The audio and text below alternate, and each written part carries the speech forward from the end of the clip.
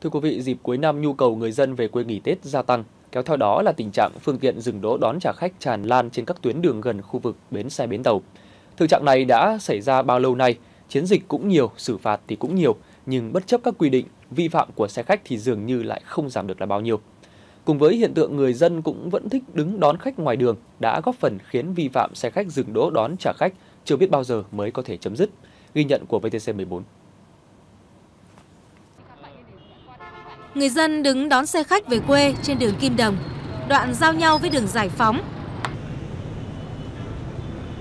Đây cũng là khu vực để xe ôm, co mồi kiếm thêm thu nhập.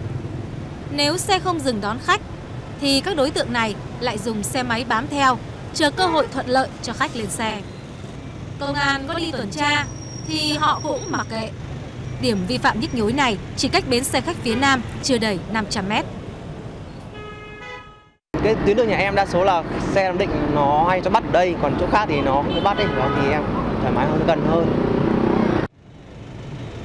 Nguyên nhân để những hành khách đứng đón xe dọc đường thì lại cũng rất tắc trách. Hôm nay em mới đi khám bệnh thì em đang say xe quá em bảo ông xe ôm mà chở cho em chỗ ra chỗ nào để em uh, bắt xe cho nó dễ. Cái đỡ ngột ngạt vào trong bến thì ngột ngạt em bảo thôi.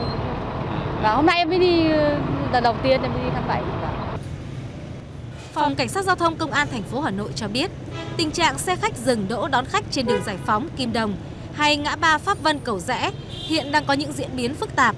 Có lực lượng tuần tra kiểm soát thì vi phạm giảm, nhưng khi lực lượng rút khỏi địa bàn thì vi phạm lại tái diễn đầu vào đó. Được biết trong năm 2015, lực lượng chức năng cũng đã xử lý 10 đối tượng cò mồi. Thực trạng mà các cái cò dùng à, các cái xe xe ôm bắt khách xong đưa lên khách.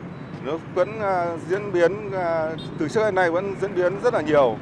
Và đội cảnh sát giao thông đã có những cái kế hoạch uh, kết hợp với phòng cảnh sát hình sự uh, để uh, thường phục mật phục. Uh, các cái hiện tượng này thì sẽ được báo cho cái tổ uh, chốt của cảnh sát giao thông và xử lý. Thường xuyên uh, tuyên truyền cho hành khách là khi đến bến xe thì vào các quầy vé mua vé để đảm bảo chính cái quyền lợi của mình. Uh, tuy nhiên thì À, Ờ, cái hiện tượng mà phóng viên nêu thì chúng tôi cũng thường xuyên gặp và khi mà có cái phản ánh qua cái đường dây nóng thì chúng tôi sẽ xử lý nghiêm các trường hợp này bằng hình thức là thứ nhất là anh phải hoàn lại cái số tiền mà anh đã thu quá.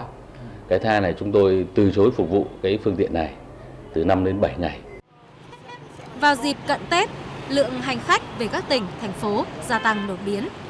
Việc hành khách chủ quan đứng đón xe dọc đường không chỉ gây mất trật tự an toàn giao thông làm gia tăng nguy cơ tai nạn nghiêm trọng, mà còn có thể khiến tình trạng nhồi nhét khách, thu quá giá quy định trở nên phức tạp, khó kiểm soát.